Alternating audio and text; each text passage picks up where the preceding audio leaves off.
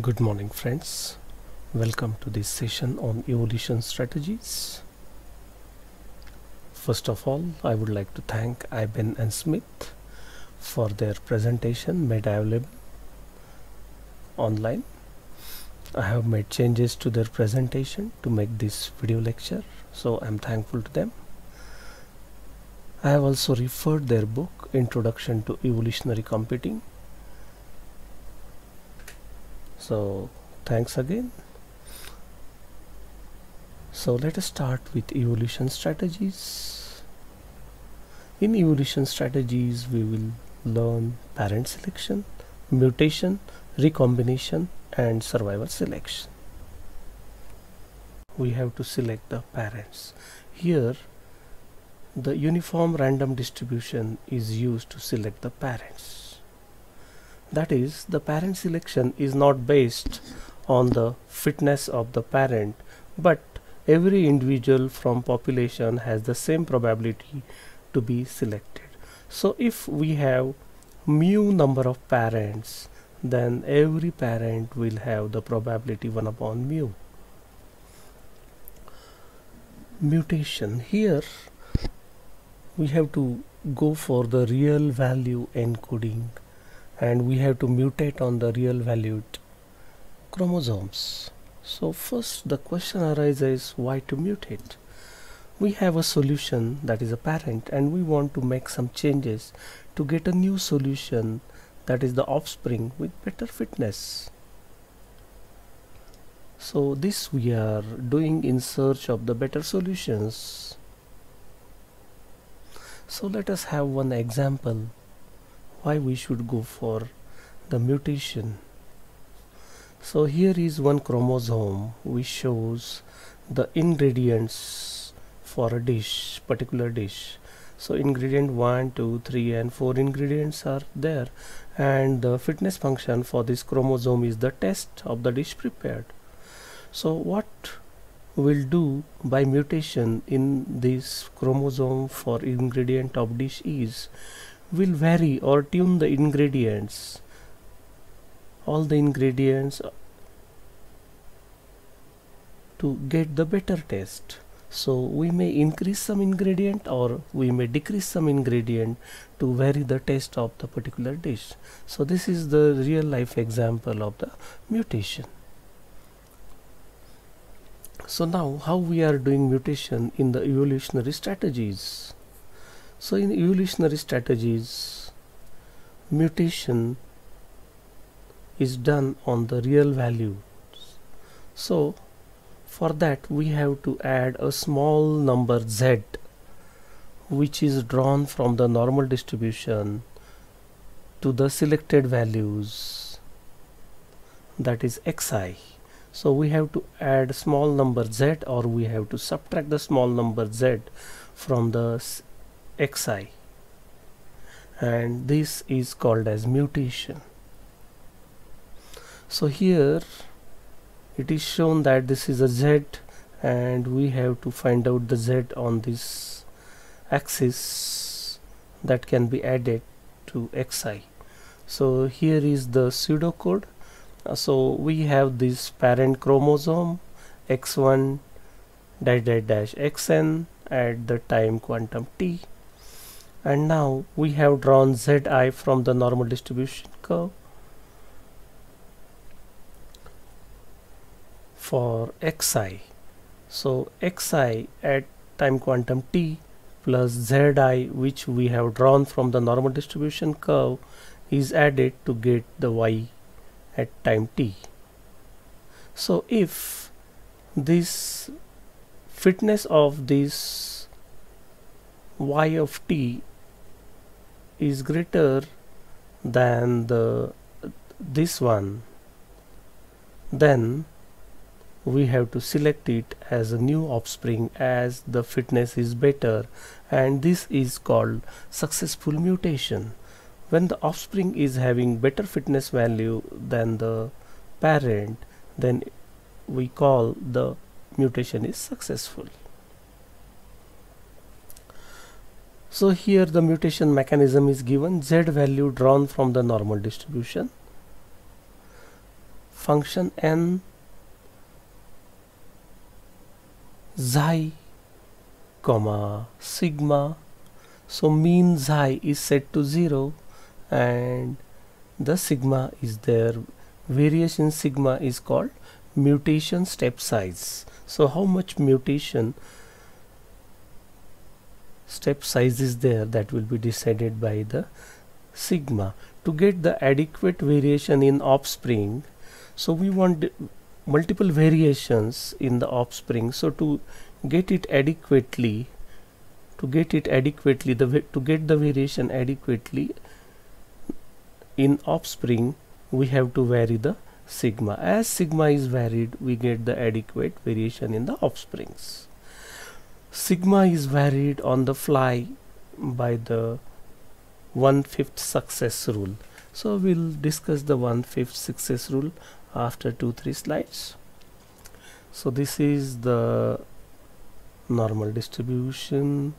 This is mean represented by xi and the standard deviation sigmas. So mutate first so what is the net mutation effect? We have this parent x and the mutation step size sigma.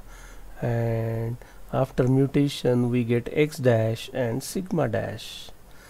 So first we have to mutate the sigma to get sigma dash. And then we have to mutate x to get x dash where x dash is equal to x plus n of 0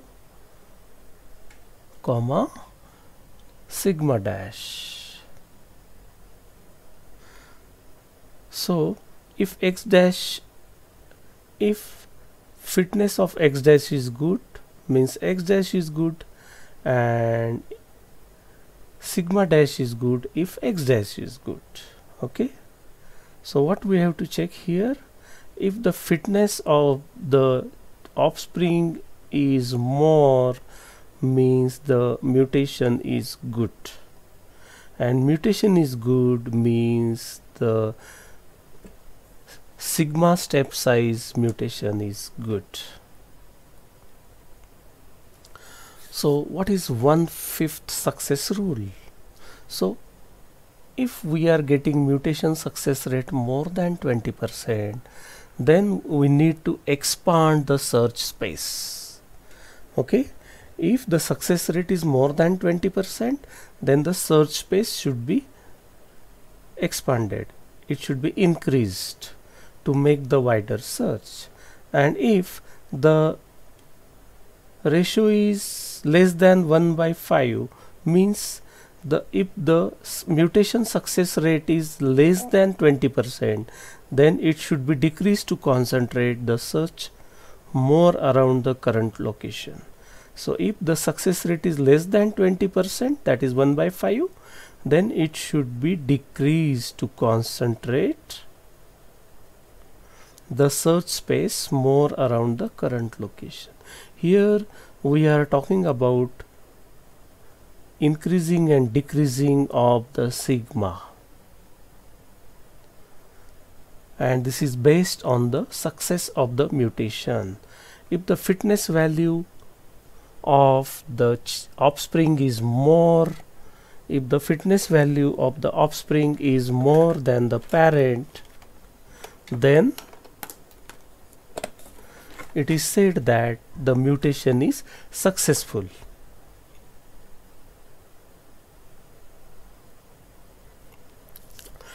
so how one fifth success rule works? We are given with C. So C is greater than 0.8 and less than or equal to 1 so uh, we can put the value of C like 0.8 0.81 to 1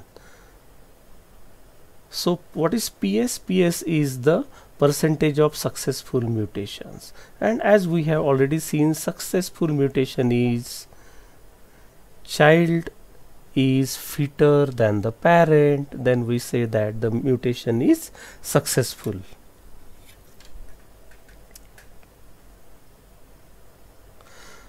So if the if the mutations are successful more than 20% then sigma is equal to sigma divided by c and this is the range of c.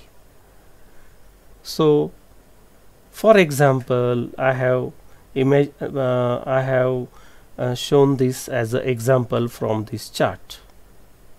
So expand the search space. It will expand the search space. So if the success rate is more than 20% sigma is equal to sigma divided by c and this is the range of c from 0.8 to 1 so we have to divide the sigma from 0.8 to any number between 0.8 to 1